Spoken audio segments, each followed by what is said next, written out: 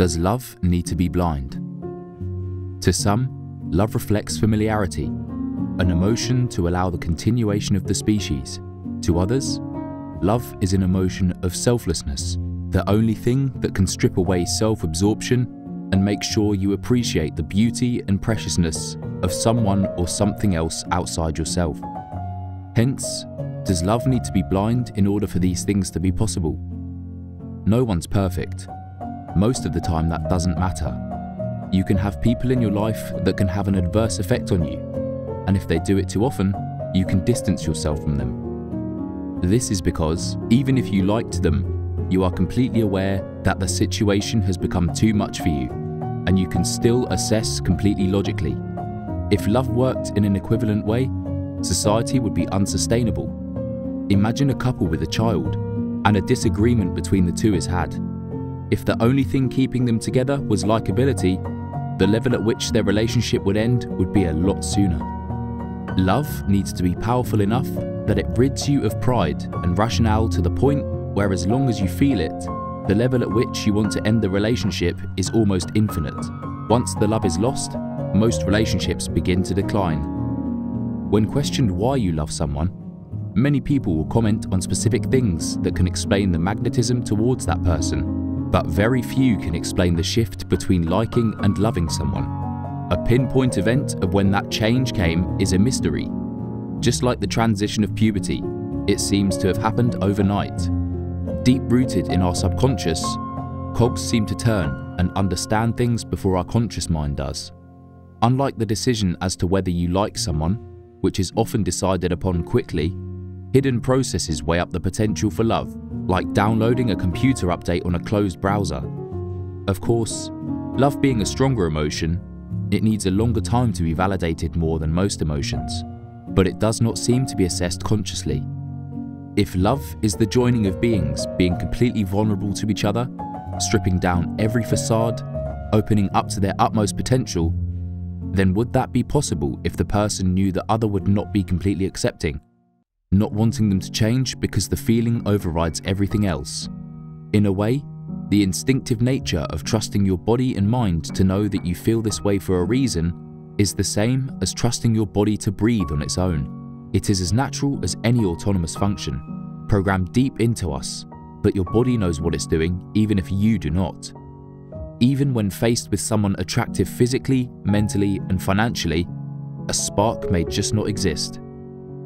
Oppositely, falling in love can be extremely unnerving.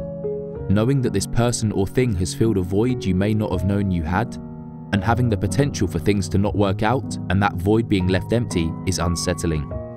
Them knowing you better than most people, knowing all your deepest and darkest secrets, and for them to not be in your life anymore can spur on feeling of unworthiness and shame.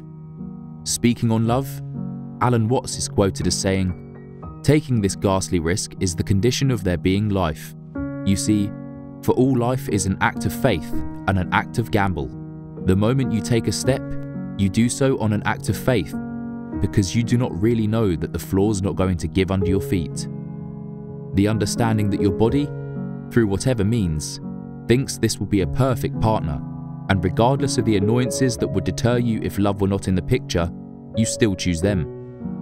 Love knows its role in the grand scheme of things, and it serves to not only find a perfect mate, but try its hardest to form the deepest and longest connection it can to create the environment where it will be able to learn as much as it can in the safest possible terms. Though modern times have brought about unprecedented safety and security for a substantial portion of the planet to grow and learn without the need for such an environment, does not mean that our emotions have adapted to this.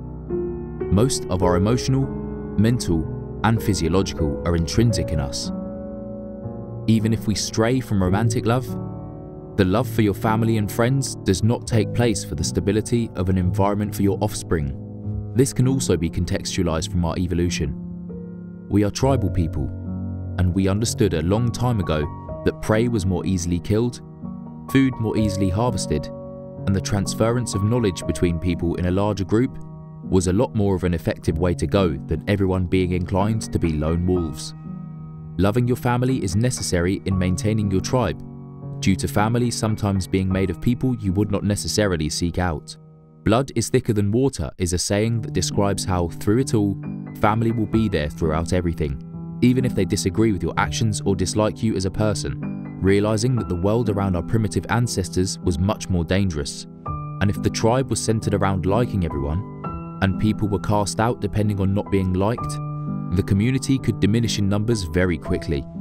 A tribe of 20 is much more efficient at defending and attacking other creatures, contrasted to a tribe of 5. A mother whose son is a serial killer will still likely love him and want to protect him. The animalistic tendencies in people would mean that a mother would still see the serial killer as someone she cares for, despite the heinous crimes. When we were apes, our tribe loved us and saw us for what we represented, as opposed to what we may have done that made us unlikable. Nothing has changed. Only when that love has been eroded by actions that could affect the tribe or family does the relationship come to an end. If you continually abused your friends and family by stealing or being violent, something in us understands that you are not invaluable, but more so a problem to the longevity of the family, tribe, or even on a personal level. Love puts us in a position to keep us in groups as long as possible and allows most actions to be forgiven. Friends do not share the innate love that families do, but the love people feel for them can be attributed to a reflection of tribe mentality also. If a lone ape proved a valuable asset to a tribe, a relationship would be fostered, and love would be forged, like any of the other tribe members.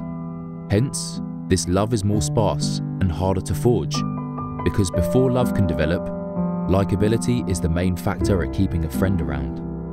However, there will always be anomalies where friends and family do not do right by us and do not seem to have our backs. But that speaks more of the person and context than the actual emotion of love. We are born into this world cold, naked, and alone. We come out clutching for someone to care for us, wanting another being to be open for a mutual dependency. Love keeps us blind to who and what the person is who beats our embrace.